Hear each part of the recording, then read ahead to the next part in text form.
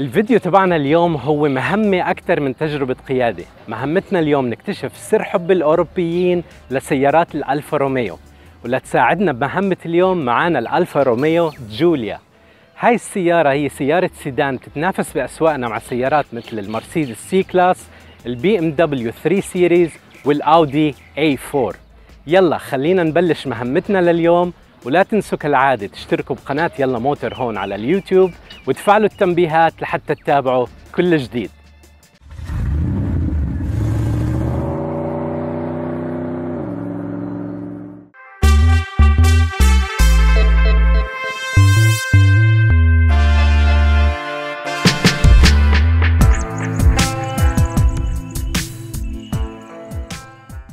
طبعا من أول أسباب حب الأوروبيين لسيارات الالفا روميو هو التصميم.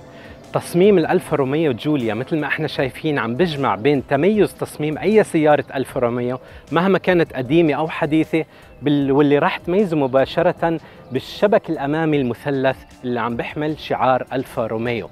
هذا الشعار اللي هو يعتبر من أقدم شعارات السيارات بالعالم. وإذا كان حدا فيكم بيعرف معنى هذا الشعار أرجوكم اتركوا لنا تعليقاتكم أسفل الفيديو. طبعا الالفا روميو جوليا عم تحمل بتصميمها فخامة بتتوقعها أنت بهاي الفئة من السيارات ولكن ملفوفة بطابع رياضي. عم نحصل عليه طبعا مع خطوط القوة المستخدمة على مقدمة السيارة وعلى جانب السيارة. ومن الخلف السيارة عم تاخذ شكل عريض بيجمع أيضا بين الجمالية والقوة.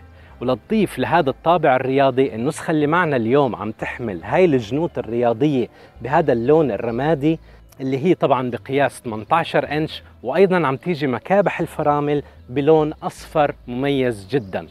أما مصابيح الألفا روميو جوليا فعم نحصل على مصابيح كبيره كتير عم تحتل آه، مساحة كبيرة من مقدمة السيارة وطبعا هاي المصابيح عم تحصل على إضاءة نهارية LED وأيضا عم تحصل على إضاءة جانبية بتكشف لك الطريق وأنت عم بتلف بالسيارة.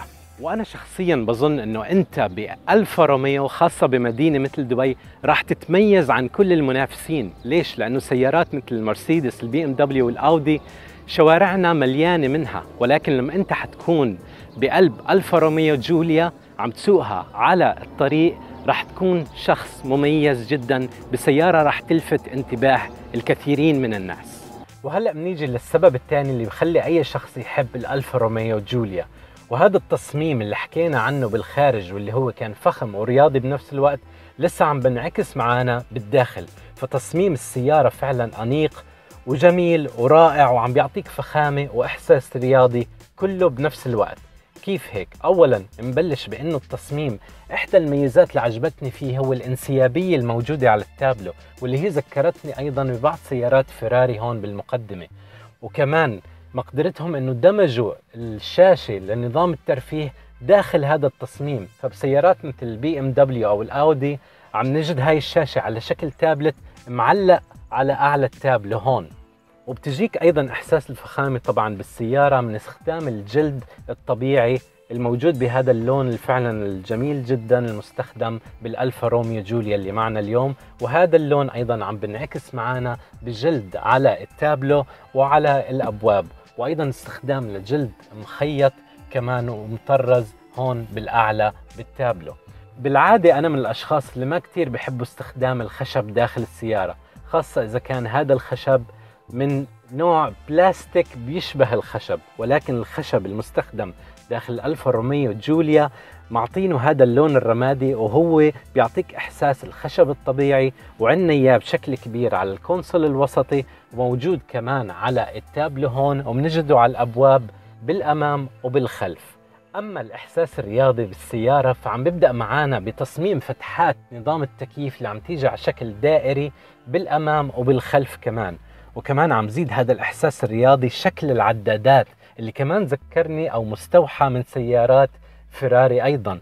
وكمان عندنا مقود رياضي من الجلد مسطح من الأسفل وفيه عم نجد زر تشغيل المحرك مثل السيارات الرياضية. أما خلف المقود فعم نحصل على هاي ال paddle shifters أو مقابض تغيير سرعات الجير المصنوعة من الألمنيوم واللي هي حجمها وموقعها بذكرني تماما أن هي مستوحاة من سيارات الفراري وللتحكم بنظام الترفيه الموجود على هاي الشاشة عندنا بالكونسل الوسطي ثلاث أقراص. القرص اللي بالنص هو القرص اللي أنت بتقدر تتحكم فيه بكل أنظمة السيارة الموجودة على الشاشة. هو طبعا بذكرنا مباشرة بنظام MMI للتحكم الموجود بسيارات أودي واللي هو طبعا بمجرد ما تلمسه تجد إنه نوعية المواد وجودة تصنيعه أقل من الأودي بكتير ولكنه بيعمل بشكل جيد وبيقدر يحركك بسهولة داخل كل لوائح السيارة.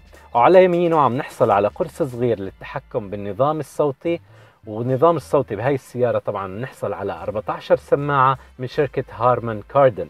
أما على اليسار فبنحصل على قرص اختيار وضعيات القيادة من ثلاث وضعيات واللي هي Dynamic للقيادة الرياضية Natural للقيادة العادية داخل المدينة ولتوفير الوقود عم نروح على وضعية Advanced Efficiency. وبمنتصف هاي القرص في عندك زر وانت بنظام dynamic بمجرد ما تضغط عليه بتقدر تختار وضعية soft لتعليق السيارة. وطبعا بالجوليا عم نحصل على تجهيزات كثيرة كمان. فالسيارة مزودة بنظام تكييف أوتوماتيكي dual zone للسائق والراكب قلنا كمان مع فتحات تكييف بالخلف. وأيضا السيارة مزودة بنظام طبعا بلوتوث للاتصال تقدر تتحكم فيه على من الأزرار الموجودين على المقود. ومن الناحية الثانية من المقود في أزرار التحكم بنظام آه تثبيت السرعة وأيضا السيارة فيها نظام لتنبيهك بالخروج عن المسار وفيها أنظمة ورادار بتقدر تنبهك لأي اصطدام محتمل والسيارة بتقدر تتدخل وتضرب فرامل بمجرد ما هي تحس إنه في أي سيارة أمامك أو عائق أو حتى بعض المشاة أمام السيارة.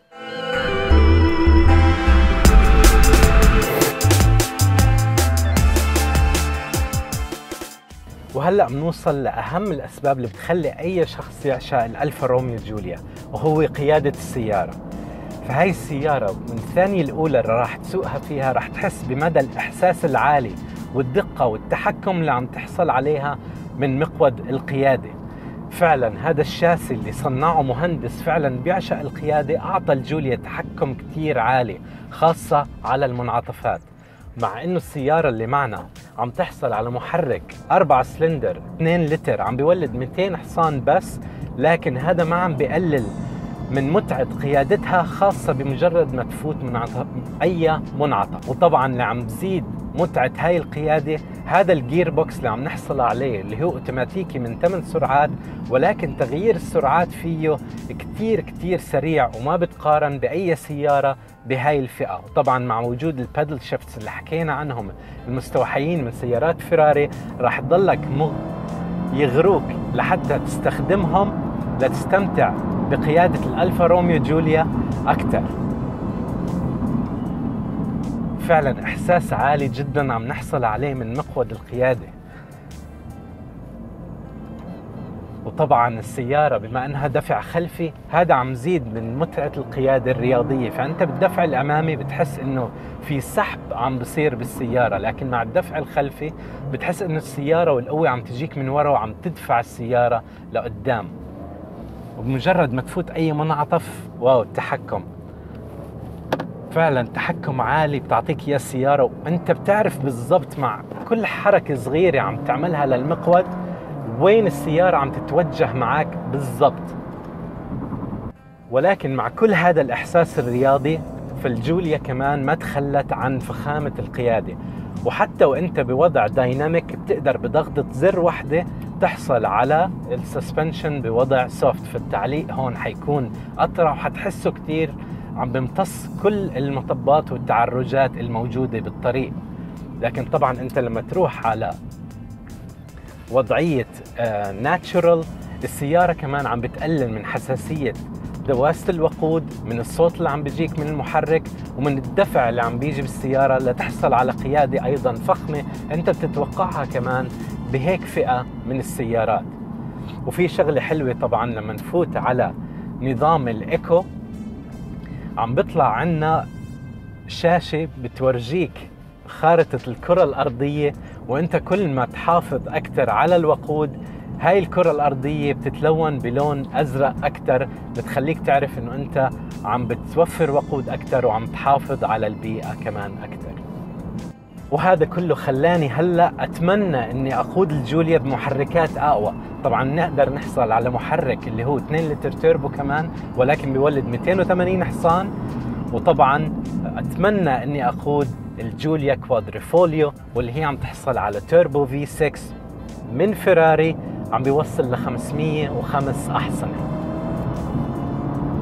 مع كل هذا التحكم فعلا حتكون قيادة جدا ممتعة.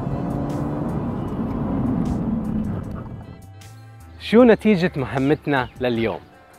شوفوا يمكن السيارات الألمانية المنافسة بتعمل أشياء كتير أحسن من الألفا روميو جوليا لكن إذا أنت شخص عندك شغف بالسيارات وحب لمتعة وإثارة القيادة فالألفا روميو جوليا هي سيارة انصنعت حوالين شغف وحب وإثارة ومتعة القيادة وأنا من اليوم ورايح راح أحترم أي شخص راح ودفع ال 165 ألف درهم اللي بكلفوك لتجيب الجوليا بالنسخة اللي معنا اليوم أو يمكن أكثر لتختار محركات أقوى وتجهيزات أعلى بالسيارة. مش بس راح أحترمه بس راح أشكره كمان لأنه زين طرقاتنا بهيك آلة جميلة مثل الالفا روميو وجوليا. أرجو إنه تكون عجبتكم التجربة اليوم وبشوفكم بتجارب قادمة إن شاء الله. مع السلامة.